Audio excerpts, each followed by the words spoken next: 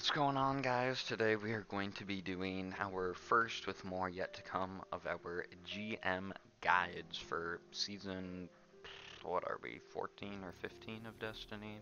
Who knows? Our Nightfall Strike or GM this week is the Devil's Lair. Our champion mods are Overload and Barrier. For this reason, um, I am running a bow. My teammates have Arbalest and a bow of their choice on. They also have Aeons and are running Stasis Warlock. Stasis Warlock is super good for controlling ads and Aeons every time they finish a champion or some kind of like high level enemy, they will generate heavy ammo. So bows for overload, Arbalest for any shield in the game, and barrier, and then Stasis is good for controlling ads. I have a bone myself, Witherhoard for killing ads. Uh, we're all using linear fusions mainly for DPS, or Miz has a rocket on. Basically any good um, damage for your heavy weapon, but I recommend linear fusion rifles because particle deconstruction is super strong. And then I have well for just general ad clear, killing ads, health, whatever. And yeah, my mods are shield break charge, so when I break an arc shield with my bow, I'll get charged with light. Uh, taking charge for when I pick up motes, which helps with, oh my gosh, I don't have it on, the most important mod in the game, protective light. So both of those help me get protective light, and then that helps with that. And then kindling flame I just have on because I have space, but not super important main important things that you have protective light on. So you take extremely reduced damage when you get to one shot. So without further ado, let's launch the Nightfall Strike and show you how to get it done.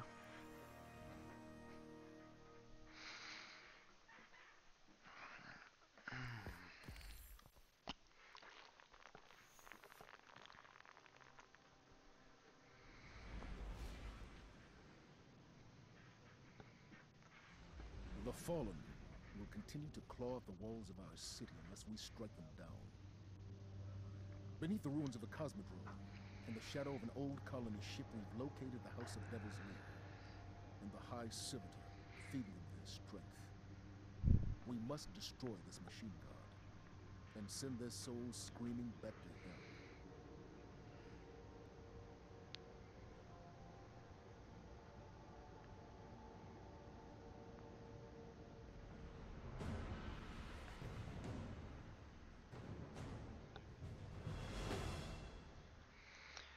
So in this beginning part, what my team likes to do, you could kill all the ads in the beginning here, which is time consuming but safe, but we like to just hop on our sparrows and just YOLO the frick through here. Try to dodge some bullets. If someone dies, you can pick them up. I just got one shot there. But we just Sparrow all the way here, and then you want to kill this Overload champion. He's the only champ this section. And of course, we're going to be going for Platinum rewards. But we kill him. And then keep moving through the strike.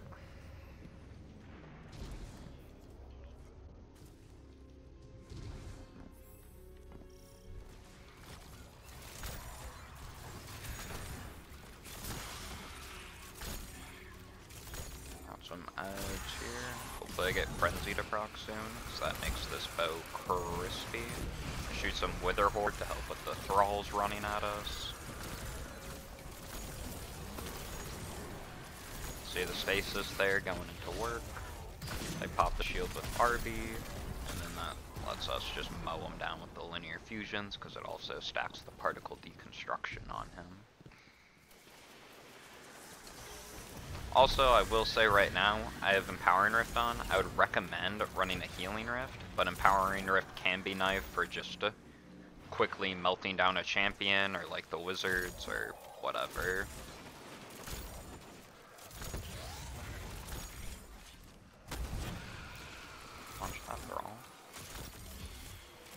So he's gonna get a finisher there and that's gonna generate heavy ammo. So we can keep pumping out the heavy.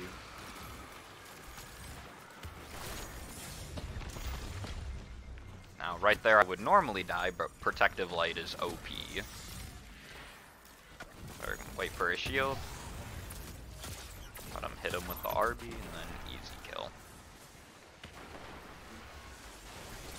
And since I have it right here, it's gonna pop well.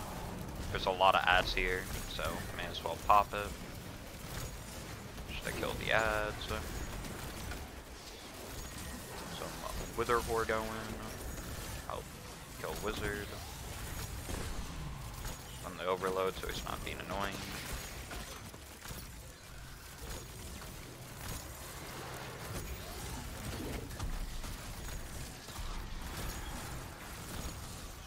Now we're going on the overload champ here, so I'm just gonna keep him stunned with the bow while my teammates clean him up with heavy weapon.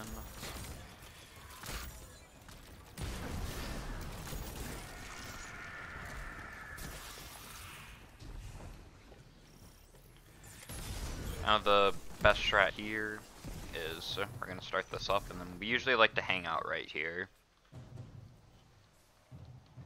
This is definitely the best way, just to clear the ads.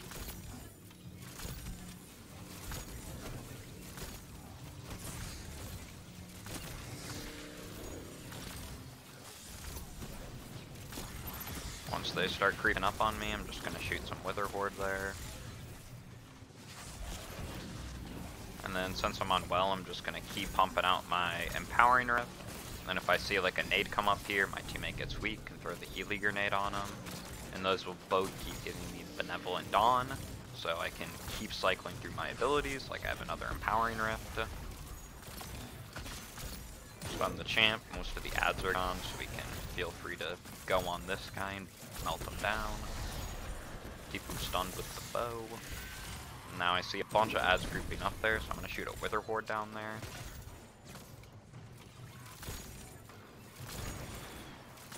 And you can also see the stasis turrets there.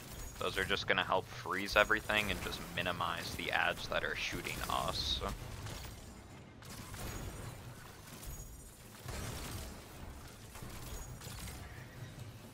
Now my teammate's pushing up, so I'll throw a Healy grenade to help them out. Hopefully I can hit this bow shot.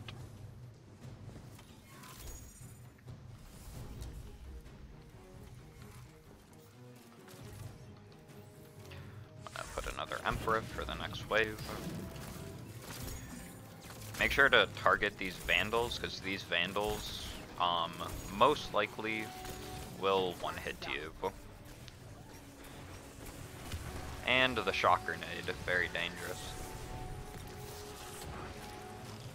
You get in a tight situation, he sees a stasis turret there, so ads that are going to push us are going to get frozen.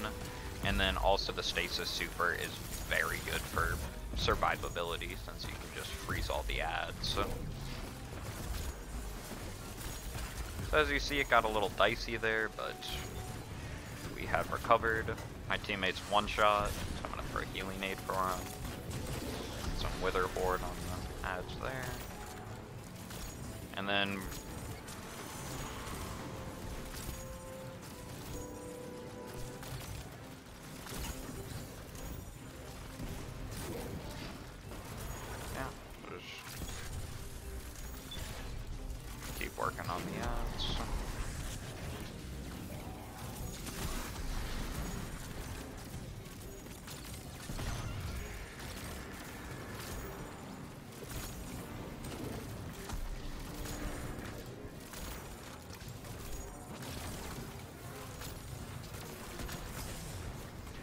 I just got destroyed by the knight.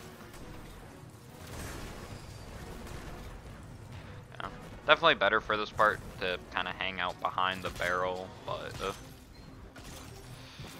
you know, we chilling.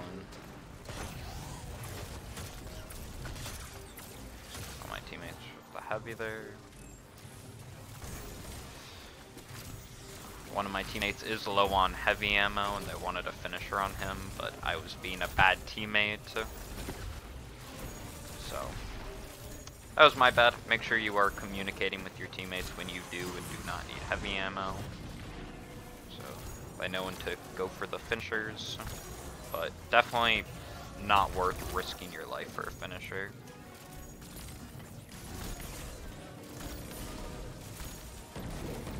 Since most of the ads are dead, we should comfortably be able to get a finisher on this guy. I'm gonna try to stun the other one. So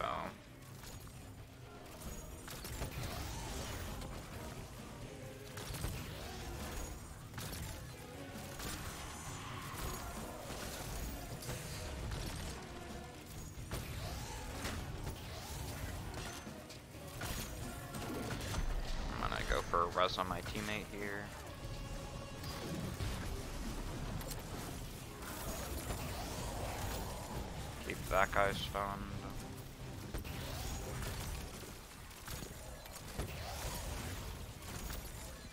Now we're just gonna keep hitting him with the bows until he's weak enough for our teammate to get the finisher. Hopefully he does. I'm gonna get destroyed. Now normally here I'd recommend just get the finisher. He's gonna use the stasis ability to keep him stunned. And they got off the finisher. Definitely though, play the finisher safe, not worth risking a run over.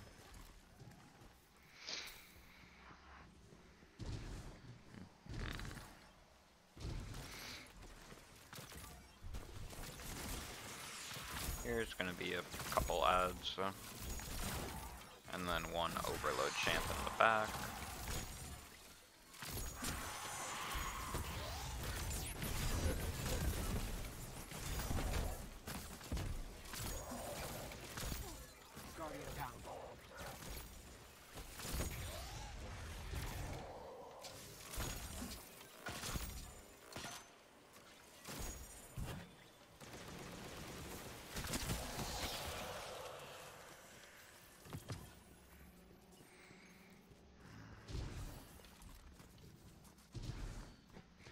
Okay, this part, make sure you don't overextend past this little corner, because there are a ton of ads out here. They're a little late to respawn, but uh, these guys will melt you.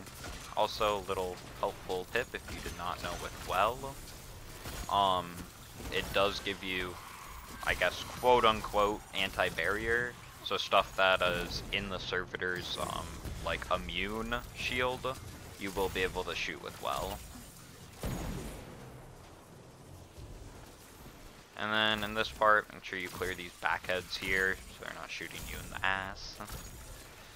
And then definitely focus the Vandals because they do a ton of damage and can easily one-hit you. So, gonna play the cover here and then we're gonna just start picking away at these Vandals that are all the way in the back of the map before we start shooting at like the Brig Walker because you can pretty clearly see when a Burger Walker is about to shoot at you, but these Vandals will just linger back here, and then out of nowhere you'll just get one hit.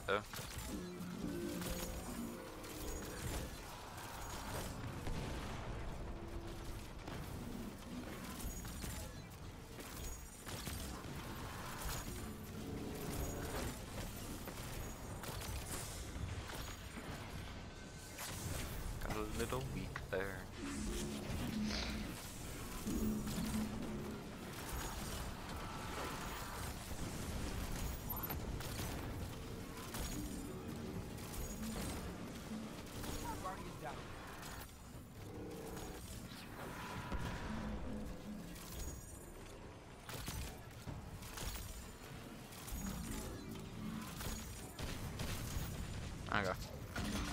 And then we usually deal with the tank here instead of the brig, so I'm just gonna pop my well since we're doing damage to a boss, may as well. And once he opens up, we'll go to town with the linear fusions. Hopefully I'm not getting lynched out the wazoo.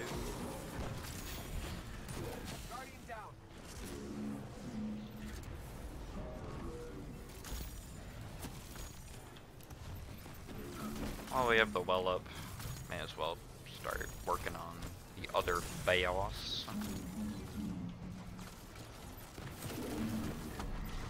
Check that guy with Witherhoard. Teammate's gonna go into stasis and clear all those ads down there. I'm gonna kill this Vandal for him so he doesn't kill him out of his super.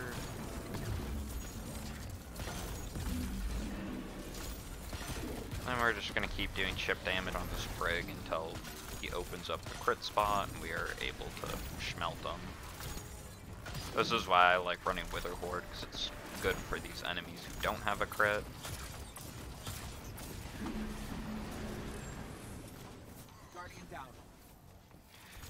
Right there, my teammate just died because of these Vandals back here.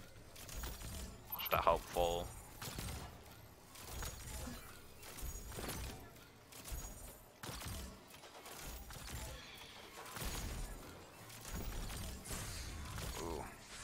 See right there, protective light just saved me because those shots usually one hit.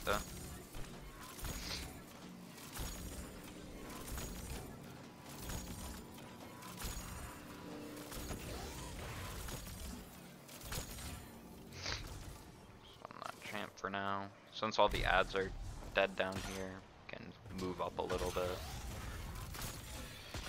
My teammate's going on the anti-barrier.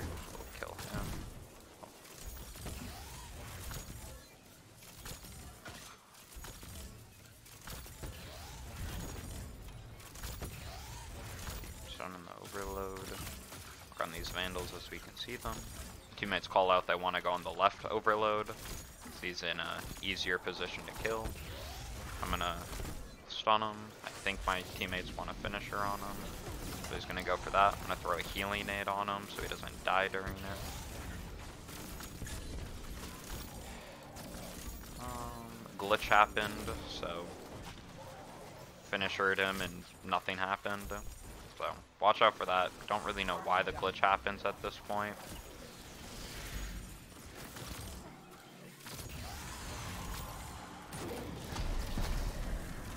I res my teammate here while the champ is stunned. I'm a little weak and there's a lot of ads here, so I'm gonna pop well. Get another stun, try to get that guy to finisher able. My teammate can go finish him off. Finish these small ads and stun that champ.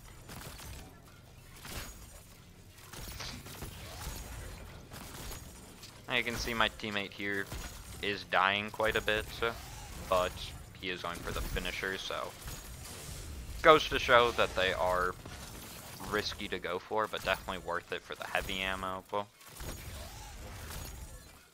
like right now when you got all the ads cleared, definitely an easy finisher there. I guess no one needs the finisher. Everyone's max on heavy, so we can just kill them.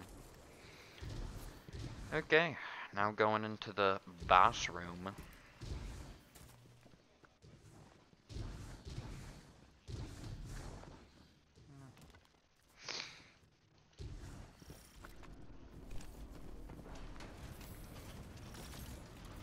Okay, door opens and there are, I believe, two overloads in this room. We're about to see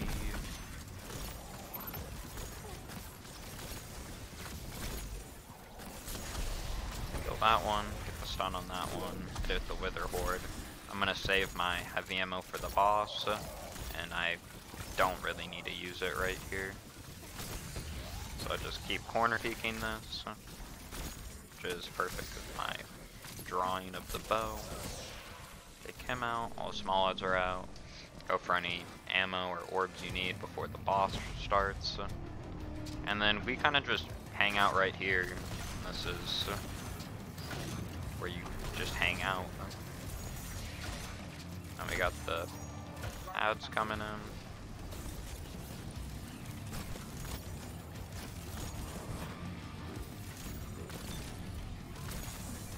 Pick off the ads as they spawn.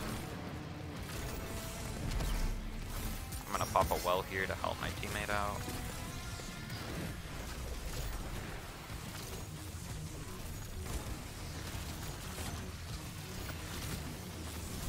Kill the ads here. I'm gonna put Witherhoard because I know a lot of ads spawn back there. Now we can use this well to go after all the servitors. If not, you can just peek out when it's safe and the ads are low. Shield goes down. We'll damage him. Well's about to drop, so we're gonna get back in the room. My teammate's actually gonna pop a stasis super here, which will allow us to stay out there longer because he can freeze the ads. But I like coming to this angle because he'll sometimes go to the very back like he just did right there. And this is a nice angle to shoot him. But watch for these ads dropping in the middle because they can't focus you and get you very weak. I'm going to throw an Emperor here to help us just clear the ads out here. Res my teammate once he's up. Some more Witherhoard at the corner. Solar nade on that corner. Rip bounce. Um, again, I'm gonna pop a well here. Just to help with all ads. Also keep us alive if the boss decides to do some fucking crap.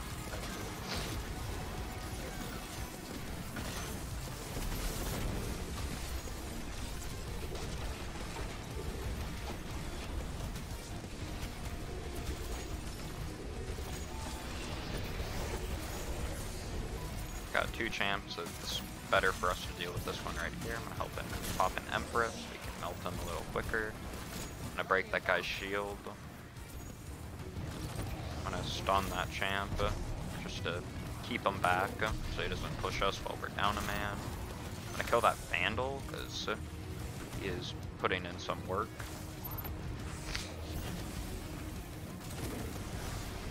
I'm gonna pop a well out here so we're able to overextend farther also help us melt this champ. And then we're gonna kill the last servitor here. And then it's just melt the boss from here. I'm gonna drop that Witherhoard there to help with all the Shanks pushing up on us. Yeah, just a nice little melt from there. Easy GM run. Get your Adept Uzume with snapshot, probably, if you want it for PvP. And yeah. Well, that is the GM run as we do it here. Um, also a helpful little tip for the snipers. If you are running sniper resist, that definitely helps with the snipers. And then if you have an arc chest piece on, which I do not, but if you were to put on an arc chest piece, you could also put on arc resist. So if you run arc resist and sniper resist there, you do give rid of a reserve slot, but you're going to be getting a lot of special ammo and heavy ammo from your Aeon users, so you don't really need the reserves, and that will definitely protect you against those Vandals when they just one-shot you. But, yeah, that's that's the run, that's the stuff. Um, thank you for watching. Subscribe. Uh, catch me live at twitch.tv bliegolf14. And yeah, stay tuned for the next GM guide next week.